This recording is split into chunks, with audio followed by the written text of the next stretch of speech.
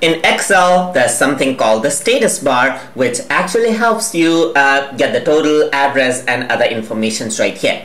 So it is located right here at the bottom, and it says ready. So if I were to right click over here, uh, with my mouse, you can see that you get a lot of options. So you get cell mode, you get cap lock, num lock, and you can see that these are actually checked off. Let me just check all of it on. So I'm going to enable cap lock, numlock over here, overtype, and everything else. And let's see what uh, the status bar actually does. So over here, I can see that my numlock is on. So if I were to uh, type in information from my num uh, number keys, then it'll actually be there. If I were to turn uh, press my numlock key, you can see that this actually disappears over here. So if I want to enable my scroll lock, my scroll lock is right there, as you can see over here as well. And then you can also go for my caps lock key. So if I were to press cap lock, you can see that accidentally if I were to type capital, then this will actually show how it is.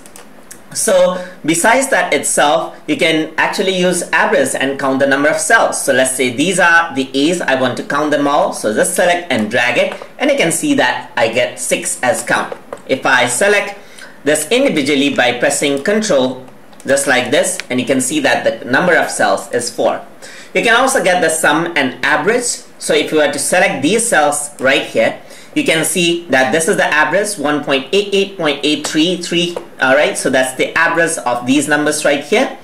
The count is 6 numerical count is 6 again and so minimum is 5 that's the value. Maximum value is 546 and the sum is uh, 1033 I can also do a horizontal count as you can see. So now there's two count minimum maximum number and sum just like that you can select all of it and all of these are right here. So it shows the average, the count, the numerical values, minimum, maximum, and uh, the sum value just like that as you can see.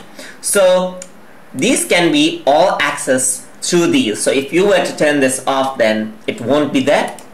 So you have to make sure that all of these are actually activated. So that is how you can use the status bar right here. And besides that, you can also zoom in and out the data right here and you can see the percentage right here. If you were to click here, it'll open up a pop-up box where you can select the magnification amount or input a custom amount right here. So let's say, for example, if I want 173% and press OK, it'll actually zoom in just like that.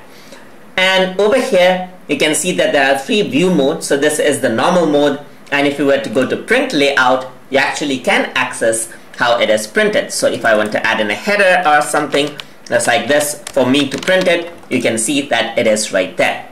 And over here on this side there's the page break previews right here. So if you want to arrange the printer settings and everything else you can simply click and drag and then see how the pages will actually be printed right there and arrange the page breaks. And if you were to go back you can see that the page break is highlighted right here so that is how you uh, can make use of max. Um, uh, you can make maximum use of the status bar. I hope you guys learned something as always. And as always, please like, comment, share, and subscribe.